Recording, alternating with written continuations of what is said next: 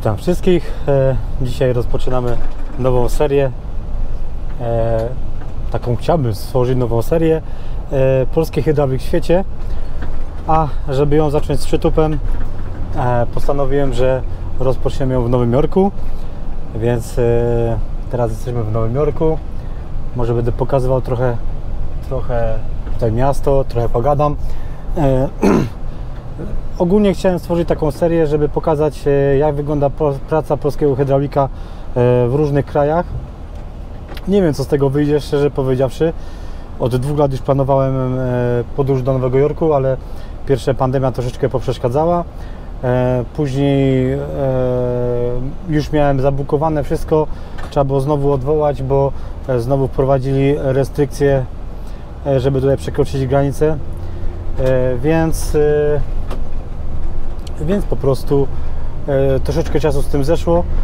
Miałem też propozycje z różnych innych krajów, żeby zacząć, ale o, tutaj jesteśmy teraz na Brooklynie, pokażę Wam Brooklyn, e, ale po prostu e, chciałem, tak jak mówię, zrobić coś, czego, czego nie ma jeszcze tutaj, no, czy w internecie jest pełno filmików ze Stanów, ale bardziej chciałem, żeby po prostu ktoś z Polski opowiadał o tym, co się tutaj dzieje. Dlatego, że no, e, system, systemy hydrauliczne tutaj są całkowicie inne jak w Polsce. Jedyne co nas, że tak powiem, jedyne co mamy wspólnego z tym e, systemem tutaj, to chyba tylko rury miedziane i złączki do lutowania i czasem jakieś zaciski, aczkolwiek rozmiary też są inne, e, bo tutaj wszystko oczywiście w calach, u nas w milimetrach, ale ogólnie, ogólnie całkowicie inna kanalizacja, tutaj wszystko jest w żeliwie, przynajmniej tutaj, gdzie, gdzie mam okazję e, spędzić trochę czasu na Manhattanie, e, tak tutaj to bywa, w, chyba nawet w całym Nowym Jorku. Dałbym się czegoś więcej, to, to będę mógł Wam coś więcej powiedzieć, ale, ale ogólnie chciałbym tutaj po, po prostu Wam pokazać, jak wyglądają te systemy, jakie mamy tu, jakie tutaj oni mają systemy e, wodne, kanalizacyjne, jak robią ogrzewanie, e, ile taki hydraulik tutaj może zarobić, jakie są koszty życia i tak dalej, czy warto w ogóle wyjeżdżać. Wstępne, wstępne rozeznanie już mam, jestem tutaj e, trzeci dzień, ale troszeczkę czasu potrzebowa, potrzebowałem, żeby się zaklimatyzować, bo wiecie, zmiana czasu, też troszeczkę niezaspanie, 2,5 godziny przytrzymania na lotnisku przez służby celne. E, już byłem pewny, że mnie nie wpuszczą, bo to wiecie, e, to, że ktoś dostanie pozwolenie na wjazd, e, to nie znaczy, że oni go wpuszczą, więc e, no było trochę przygód, e, ale to może opowiem innym razem. E, To ma tylko być takie po prostu krótkie, krótka zajawka, a z racji tego, że jestem tutaj w samochodzie hydraulików, to jak widzicie, jak w każdym samochodzie, czy to w Polsce, w Niemczech, czy, czy w Stanach, samochód wygląda jak wygląda, czyli jak zawsze wszędzie wszystko leży, tylko nie pochowane. Tutaj jak widzicie zabudowa taka, tu mają skrzyneczki z narzędziami. E, Rury żeliwne do kanalizacji, rury miedziane. Jak widzicie, oni tutaj nie mają zabudowy, e, więc można sobie zobaczyć, co tam z tyłu jest. No i oczywiście narzędzia. Byliśmy tutaj wymienić gabarita, ale, ale oczywiście okazało się, że tam jest co innego na miejscu i musieliśmy zawrócić. Samo dostanie pracy tutaj e, jest oczywiście bardzo problematyczne, bo e, to niestety nie jest tak jak u nas w Unii Europejskiej, że możecie sobie wziąć i e, w każdym miejscu pojechać, zatrudnić się i tak dalej. Tutaj niestety jest to bardziej skomplikowane. Głównie tutaj akurat przyjąłem e, pozwiedzać i, i, i troszeczkę, że tak powiem, się odchamić od tego wszystkiego, ale, ale e, no wiadomo, no nie mogę, nie mogę tylko chodzić i kręcić, bo chciałbym też coś spróbować tutaj. Oczywiście legalna praca jest w ogóle e, wykluczona z tego względu, że trzeba mieć e, zieloną kartę. E, bez zielonej karty to można jedynie robić na czarno, e, więc, więc e, no nie, da, nie, nie, nie jest to takie łatwe. Samo zdobycie zielonej karty też nie jest łatwe, o tym może w innym odcinku. Troszeczkę troszeczkę, że tak powiem, rozeznałem tematu, ale e, jeżeli zdecyduję się nakręcić odcinek o ogólnie o, o pozyskaniu zielonej karty i o tym, jak zacząć legalnie pracować w Stanach, to wtedy nakręcę tutaj coś, ale no chyba, że zobaczymy. Jest też plan taki, plan taki że e, podlecę do Chicago, też do jednego widza, do Rafała. E, zapraszam, żeby, żebym po prostu wpadł. E, tutaj akurat jestem e, u innego znajomego, ale on akurat robi tylko głównie właśnie instalacje na Manhattanie, tutaj w okolicach Manhattanu. Instalacje głównie wiadomo, to, są, to jest stare budownictwo, więc cała kanalizacja jest żejwna.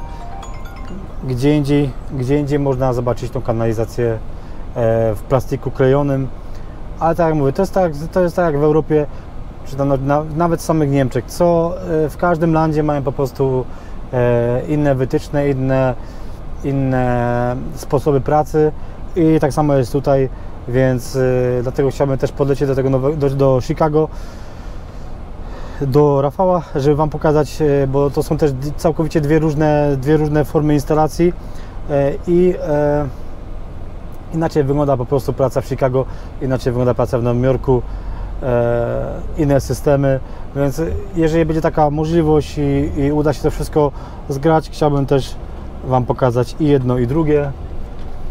Także zobaczymy jak, zobaczymy jak, no tutaj widzicie to jest to jest w ogóle, to jest w ogóle odpowiednik Fiata Ducato w Polsce, Peugeot Boxer i tak dalej, ale jak widzicie, oni tutaj nie mają Fiata, są w tej lepszej sytuacji, oni mają Rama.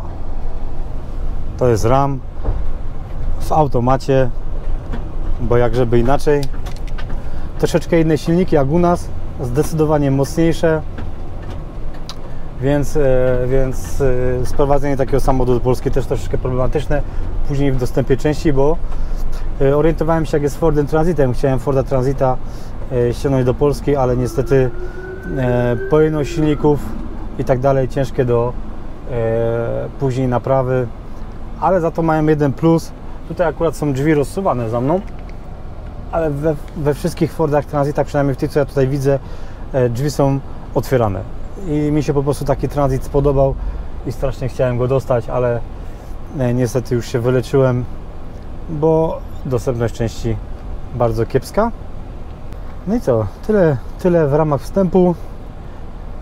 Śledźcie kanał na bieżąco, zobaczymy co z tego wyjdzie. Powiem Wam, że sam jestem ciekaw. Oczywiście też e, nie wszędzie, nie wszędzie można kręcić, więc mm, ile będę w stanie pokazać, tyle będę w stanie pokazać. Mam nadzieję, że, mm, e, że uda się. Tak jak mówię, no ja Wam tutaj nie, opo nie opowiadam o tych systemach, bo trudno, żebym opowiadał o czymś, o czym nie mam żadnego pojęcia, ale chciałbym to pokazać i żeby po prostu tam wszyscy inni się mogli wypowiedzieć na ten temat. Ja będę raczej bacznym obserwatorem i e, operatorem kamery, jak, e, jak twórcą. Więc e, to dopiero początki. Tutaj mam planuję spędzić cały miesiąc. Mam nadzieję, że przez ten miesiąc e, uda się pokazać jak najwięcej. Więc myśl, planuję tak nagrać z 80 odcinków co najmniej, więc myślę, że będzie co oglądać. E, po tych paru razach, co przeszedłem tutaj po budowach, myślę, że jest mnóstwo rzeczy do pokazania. E, od narzędzi, których po prostu w Polsce nie ma, po oczywiście systemy grzewcze i sanitarne. Także zostawiajcie łapki w górę dla zasięgów komentujcie, zadawajcie pytania. Ja będę się starał doinformowywać troszeczkę, podowiadywać, poodpowiadać na te pytania e, i zobaczymy. E, kolega Tomasz, u którego e, mieszkam, niestety nie chce występować przed kamerą, więc, więc nam nie opowiada zbytnio dużo o tych systemach tutaj. Po prostu nie chce i ja to szanuję. Nie będę go naciągał, tutaj namawiał, żeby, żeby trochę poopowiadał. Chyba, że użyczy tylko swojego głosu, nie wiem. Zobaczymy, spróbuję z nim pogadać. E, więc e, jakoś z moim kaleczącym językiem angielskim spróbuję, spróbuję Wam pokazać, co się maksymalnie, ile się maksymalnie uda. E, I ze względu na to, że e, no, koszty są dosyć spore, bo tutaj minuta dzwonienia e, stąd to jest 10 zł. SMS, wysłanie SMS-a to jest 2 zł. minuta przychodząca e, 2 zł. Przy moim, że tak powiem, dzwoniącym telefonie wróciłbym do Polski z e, porządnym rachunkiem, więc e, jeżeli ktoś e, coś potrzebuje i tak dalej, starajcie się albo pisać maila. Internet akurat mam, więc jest nie ma źle. Starajcie się pisać maila lub dzwonić na Whatsappie. Tylko, że z racji tego, że jest 6 godzin różnicy czasowej, czyli dla przykładu, jeżeli tutaj gdzieś około 16-17, u Was, jeżeli tu jest 16, u Was jest 22, można śmiało dzwonić po 22 na Whatsappie e, przez, ten, przez ten cały sierpień, e, dlatego że no, dzięki tej różnicy czasowej u nas dopiero jest, że tak powiem, e, normalnie, u Was już jest późno, więc, więc przez ten sierpień nie ma problemu, ale tak jak mówię, najlepiej dzwonić wtedy na Whatsappie, ja będę się starał, ile będę dał radę, będę odbierał. e, i tak to będziemy jakoś kombinować, żeby wszyscy byli zadowoleni.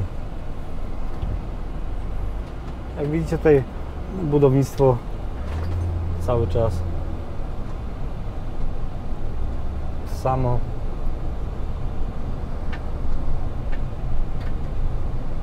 Wszystkie łyczki. Tu jest tak fajnie porobione, że każda łyczka się z każdą styka. Jest to podzielone takie, zresztą jak zobaczycie e, na Google Mapach Nowy Jork, to są to takie po prostu kwadraciki i można wszędzie łatwo dotrzeć. Nawet szczerze powiedziawszy bez nawigacji, jeżeli tylko ktoś opanuje to numerowanie, numerowanie ulic.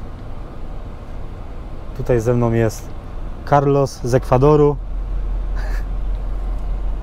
Carlos już jest ponad 20 lat w Stanach, więc i też pracuje cały czas jako, jako hydraulik i może się uda coś z nim tutaj nakręcić, zobaczymy. Na razie robi za kierowcę. Co prawda prawo jazdy międzynarodowe wyrobiłem, ale powiem Wam szczerze, że jak widzę jak tutaj ludzie jeżdżą, to na razie, na razie wolę, wolę sobie tutaj jeździć z pozycji e, pasażera. Wszyscy na wszystkich to robią non-stop. Powiem Wam, to jest takie szaleństwo. Jak widzicie, samochody są zaparkowane po obydwu stronach. I, I jeszcze często gęsto jest tak, o tutaj teraz widać, jak mamy zaparkowaną tą białą osobówkę, że po prostu ktoś włącza awaryjne, zostawia samochód, ale oczywiście tutaj nikt nie ma do nikogo pretensji, tylko kwestia jest taka, że e, trzeba się przecisnąć. You go? A. Trzeba się po prostu przeciskać. Tu akurat jest w miarę, w miarę spoko miejsca, ale widzicie, tu już jest gorzej. I tak jest po prostu cały czas, dlatego wolałbym na razie nie przerysować żadnego auta i na razie sobie tutaj z pozycji pasażera